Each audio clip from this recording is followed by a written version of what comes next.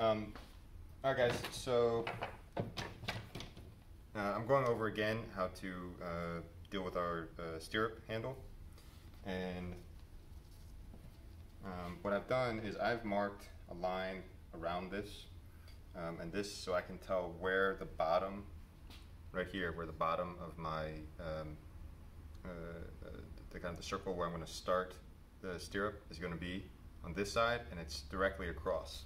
So if you remember what I did was that my first um, move here was of course I'm going to score it around where I had that mark, again directly across from this one, right?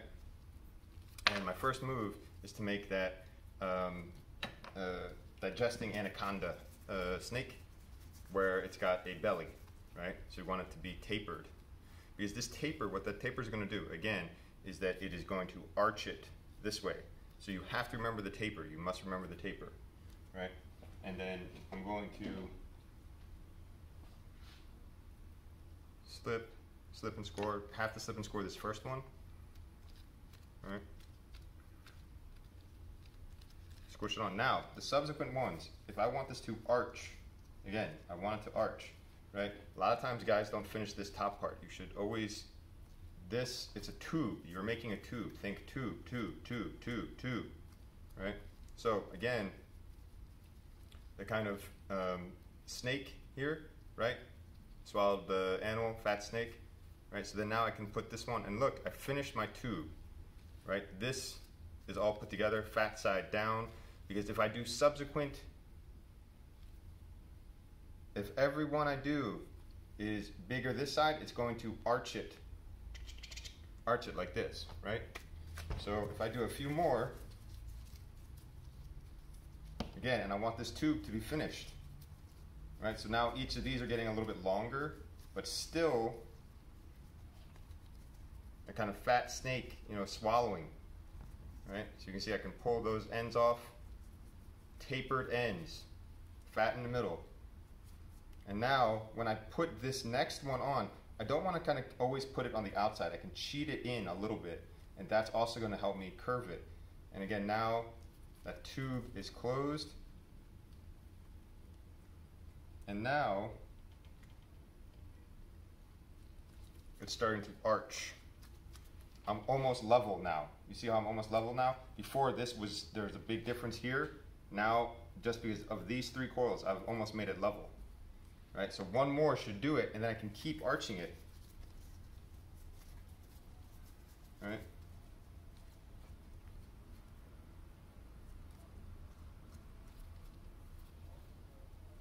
Same, I'm adding the coil same as how I did my large coil piece, right?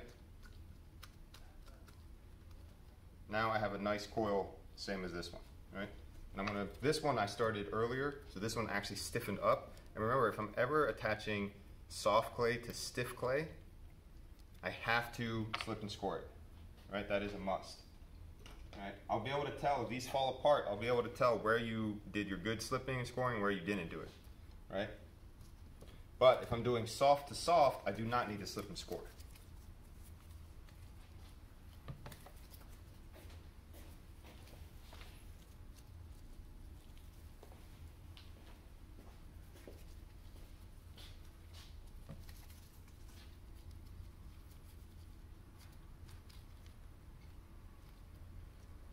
Right, so that was a slip and score because that was soft to hard.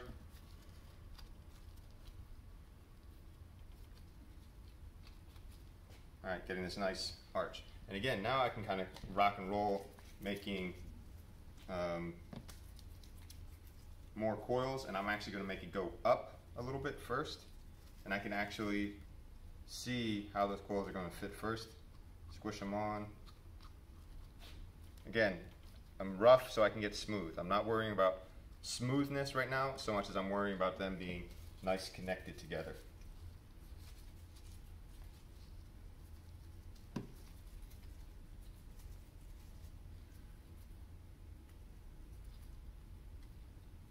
Now, one thing that can happen is that it can start going too far out, or instead of being a tube, it's starting to be a big flare, right?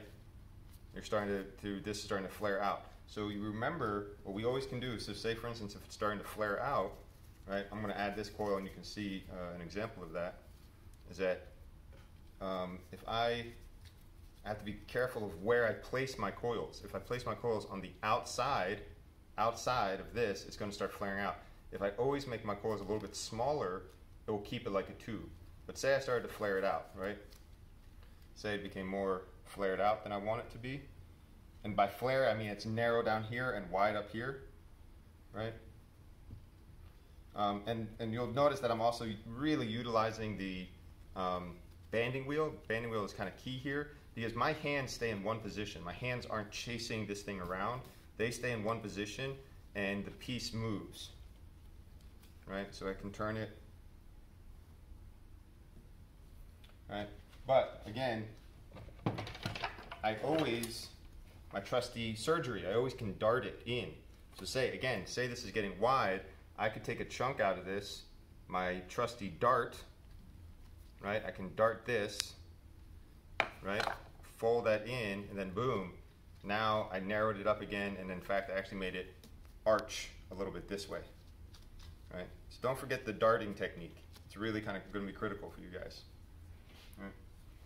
One thing I want to look at is this shoulder. So the shoulder being the transition point from here to here. I don't want this to be 90 degrees, right? I want this to be almost this nice gradual shoulder. So what I can do is I can actually press this down into it and I'm being very conscious of this and I'm looking at this, making sure that that's a nice kind of gradual curve, right? And that's why I want that. It's, it's not just because of the way it looks. So some of you may want that 90 degree, that's the aesthetic, but this gradual curve is a stronger, it's a stronger curve to do it like that, right?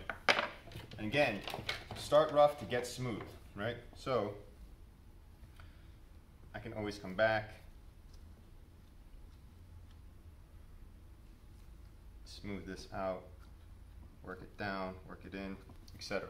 Now, what I've done is I've put in um, I've put in a uh, the coils, but I never cut this hole. Remember, this wants to flow through this. I want to flow through this. So I'm actually going to cut this out. Right? And some of you, you get worried. You're like, oh, Mr. Raeder, I'm going to, you know, it's going to fall in there. Don't worry about that. You can scoop it out, and if it falls in there, not that big a deal. It's just clay, right?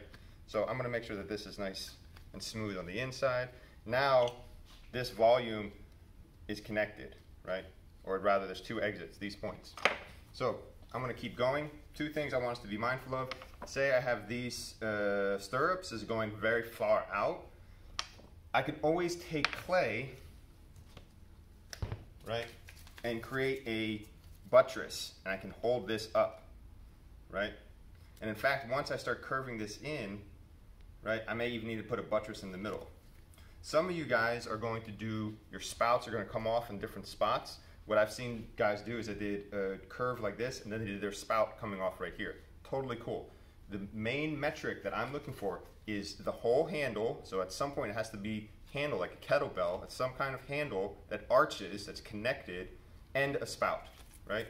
So an arch and a spout, that's what we need. So some of you, if you're doing the very kind of quote unquote traditional, you're gonna do the spout, I'm sorry, the uh, handle and then the spout on top. That's the very traditional way of doing it right? But if you remember, if you look at the Moche pottery examples, sometimes they did figures on theirs too, right? And if, again, if you want to attach figures or anything on the outside, we can get into kind of some um, kind of detailing, embellishment, ornamentation, right? You must um, score this and score the piece you're going to attach. It will not work if you just try to stick it on because this is getting stiff now and we want it to get stiff so we can hold up this stirrup, right? And again, just going over stuff you already know, but just to remind you, just to remind you, you can spray this to make it a little bit softer, but do not drench it. You don't want to make a swamp on this whole thing. You don't drench it. All right? Okay, so I want to keep going with my coils.